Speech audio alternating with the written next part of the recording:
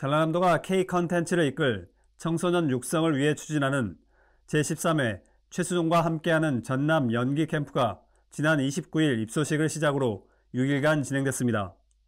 전라남도가 주최하고 전남 영상위원회가 주관하는 전남 연기 캠프는 엔터테이너를 꿈꾸는 지역 청소년 50여 명을 대상으로 해남 문화예술회관과 해남 유수호스텔에서 진행하고 캠프에 참여한 학생들은 전남 영상위원회 운영위원장인 배우 최수종과 현직에서 활동 중인 각 분야의 전문가의 이론 교육과 실습 교육을 연기반, 영상 제작반, 연극반, 뮤지컬반, 크리에이터반 다섯 개 분반별로 나눠 배웠습니다.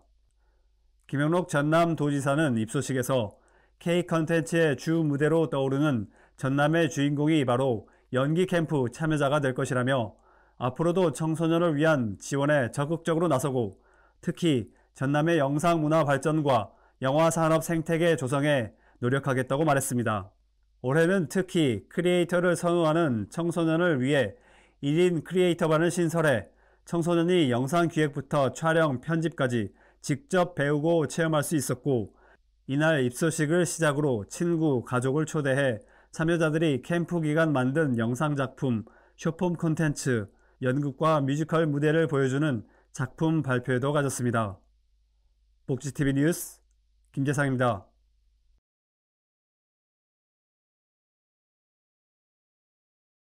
지난 29일 양주시 장애인 종합복지관 마당입니다. 양주 한울림 라이온스 클럽이 지역 봉사단과 함께 맛있는 점심을 준비하고 있습니다. 우리 모두가 봉사하고 나누면 행복하지 않겠나 싶어가지고 한 건데 하길 잘했다 라는 생각을 해봅니다. 함께 참여해 주셔서 고맙다는 말씀 드리고 누구나 할 수 없는 일이지만 함께 이런 일을 했으면 좋겠다라는 말씀 다시 한번 드립니다. 오늘 오셨으니까 짜장면 맛있게 드시고 뜨거운 날씨 잘 이겨내셨으면 좋겠습니다. 행복하세요. 노랑, 주황, 파랑, 보라, 알록달록 조끼를 입은 봉사단, 뜨거운 열기 속 면을 삶아내고 만들어진 자장면을 기다리는 시민에게 전하는 임무는 그들의 몫입니다. 강수현 양주시장도 오늘은 배달 봉사를 맡았습니다. 양주에 거주하는 우리 장애인들을 위해서 좋은 행사해서 너무 감사드리고요.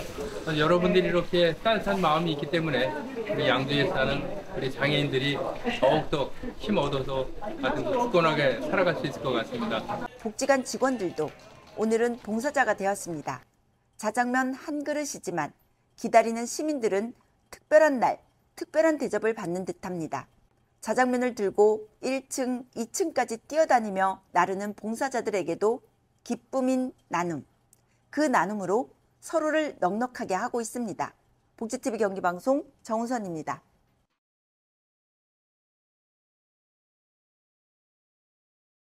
여수시는 지난 31일 정기명 여수시장, 박수성 롯데케미칼 여수공장 본부장, 김진우 여수시 노인복지관장, 이영진 소라면 지역사회보장협의체 위원장, 이장 및 주민 등 50여 명이 참석한 가운데 희망하우스 27호의 현판식을 열었습니다.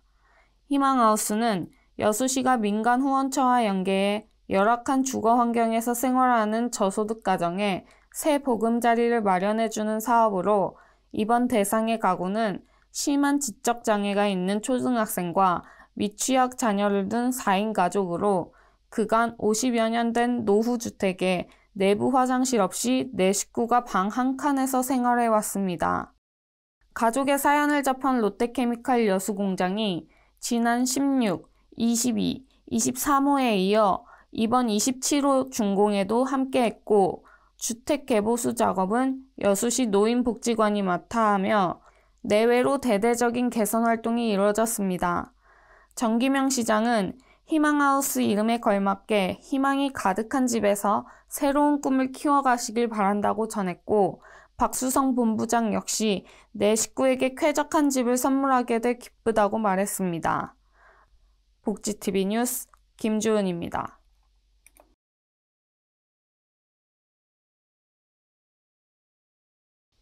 전라남도는 바이오 스마트 그룹이 글로벌 인재 양성을 위해 전남인재평생교육진흥원에 8천여 권의 도서를 기탁했다고 밝혔습니다. 지난 31일 전남도청 귀빈실에서 열린 기탁식에는 김영록 전남도지사, 박혜린 그룹 회장, 옴니시스템 부사장, 범이승 전남인재평생교육진흥원장 등이 참석했습니다. 바이오 스마트 그룹은 도서 기탁뿐만 아니라 전남 365 고향사랑 기부 캠페인 동참을 위한 기부금 기탁과 전남 사랑의 서포터즈 가입 등 전라남도에 깊은 애정과 관심을 보였습니다. 박혜린 회장은 전남 인재들을 위한 사회공헌 활동에 참여하게 돼 기쁘다며 이번에 기탁한 도서가 전남 청소년들의 독서 문화 활동에 보탬이 되길 바란다고 전했고 이에 김영록 지사는 전남의 인재 양성에 애정을 갖고 도서를 기탁해 주셔서 깊이 감사드린다며 후원해 주신 도서를 통해 전남의 청소년들이 올바른 가치관을 정립하고 꿈을 키워나가도록 도내 지역 아동센터, 도서관, 학교 등에 잘 전달하겠다고 말했습니다. 이번 도서 기탁을 계기로 전남의 지역 인재 양성에 대한 공감대가 더욱 확산될 수 있을지 주목됩니다. 복지TV 뉴스 김주은입니다.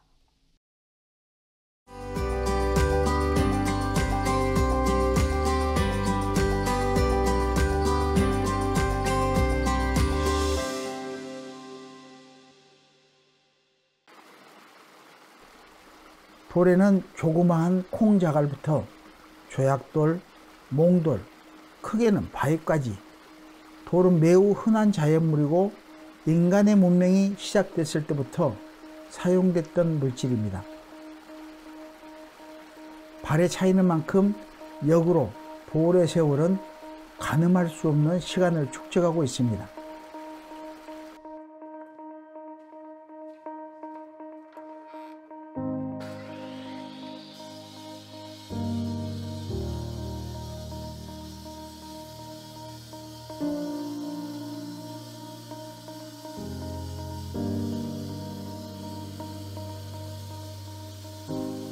돌 조각은 희뿌연 연기와 함께 두들기고 깎아내며 반질반질하게 연마하는 과정이 필요합니다.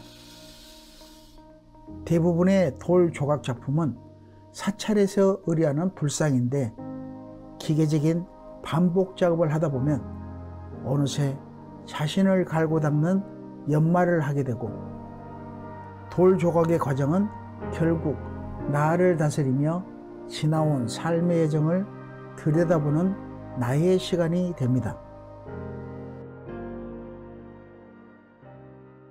그 돌이라는 건 또 세월이 지나면 지날수록 그 빛이 바라거든요. 그러니까 어, 묵은 맛이 있어야 돌은 더 훨씬 더 가치가 더 드러나거든요.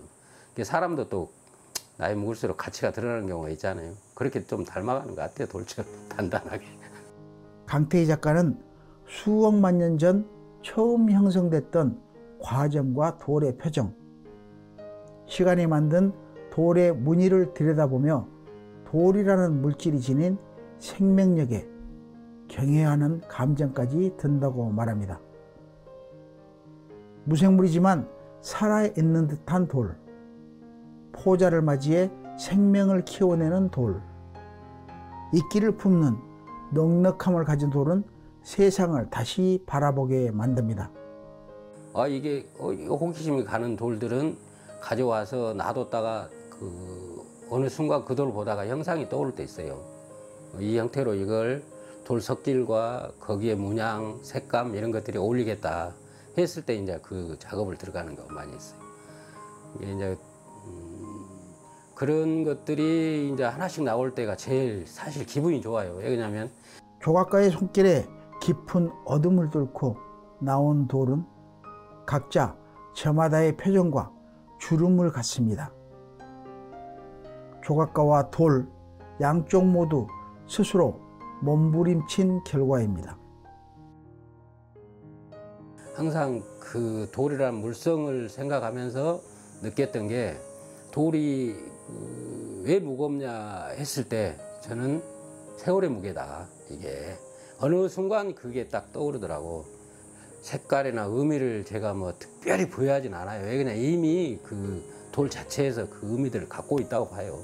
제가 이제 약간의 거기다가 이렇게 그 저의 어떤 이것만 살짝 건들 뿐이지.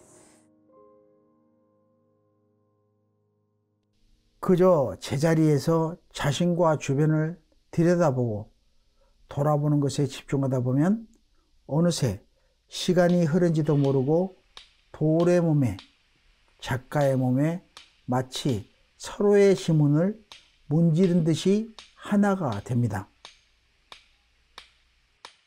조각가는 자신의 몸을 도구 삼아 자연물과 공존하는 존재와 같습니다. 작가와 돌이 하나로 엮인 모습이 불상으로 나타날 수도 전혀 예상할 수 없는 상으로 나타날 수도 있습니다. 어떤 모양으로 나왔던 작가와 둘이 함께 바람과 햇볕을 헤치며 걸어온 시간이 회색빛은 아닐 것입니다. 복지TV 뉴스 이영추입니다.